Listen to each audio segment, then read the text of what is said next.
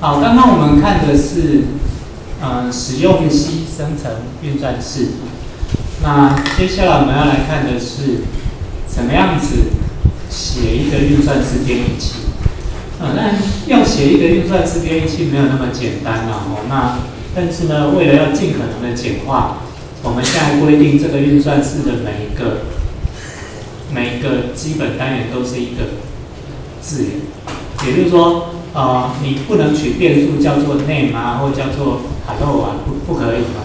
你只你的你只能够有数字，OK，或者是加减乘除的符号，啊，这运算式变器，而且数字呢长度只能够一，OK，啊，这样会让我们写程式的时候简化很多，哦，资源版的运算式变器。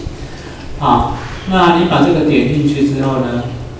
你会发现说，OK，我们这边有有它的执行结果，啊，这是我们的执行结果，啊，那这边是那一个程式，啊，那你只要把这个程式剪下来，啊，然后然后贴到一个档案，啊，然后像这样存起来，啊，就可以。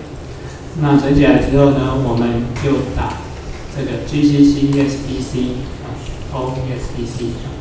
这样子的话就会就会编译完成，然后呢就给他一个运算式，啊，当然要符合语法，然后呢执行，你就会发现说，OK，他已经把这个运算式给整个剖析了，而且不止剖析完，他做什么事呢？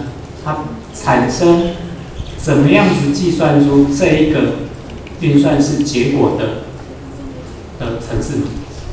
啊，举个例子，他说 t 零等于三，就是把三塞到 t 零；t one 等于五，把五塞到 t one；t two 等于八，把八八塞到 t two。这样 t 三等于 t one 加 t2，他在做什么？t one 加 t2 不就是五加八吗？好吧，五乘八，t t1 乘 t two 就五乘八吗？哦，所以他先做五乘八，对不对？做完五乘八之后呢，在 t 四等于 t 零加 t 三。T 零加 t 三，t 三不就是那个五乘八吗？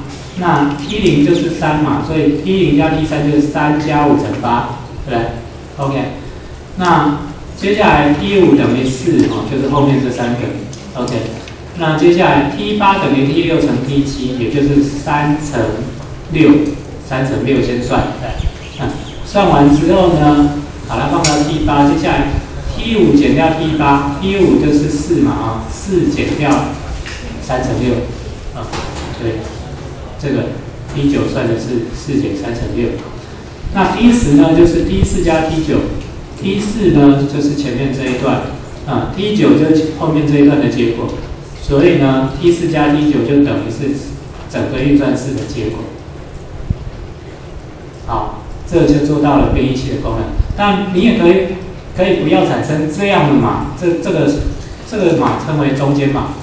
就是它感觉就很像一个没有函数、没有只有基本运算的 C 语言的的运算式，而且而且运算元只能有一个。OK，好，那你也可以把它产生像 C p u 里的机器嘛？啊，如果你要产生的话，那也 OK，那就用 R1、R2、R3 去去取代这个 T1、T2 就可以。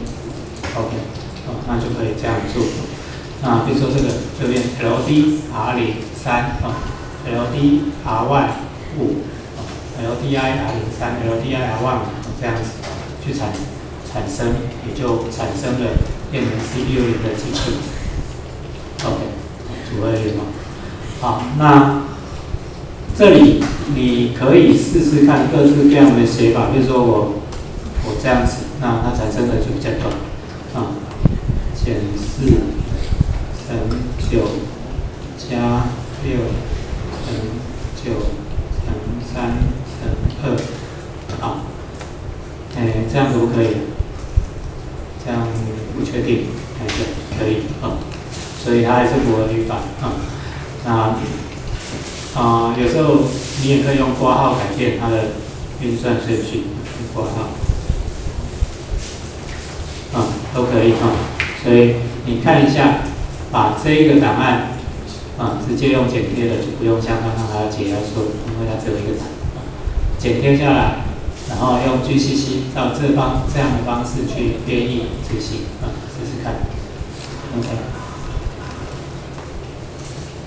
好，那在从刚刚从深层面看，现在从火星面来看，倒过来，好，试试看。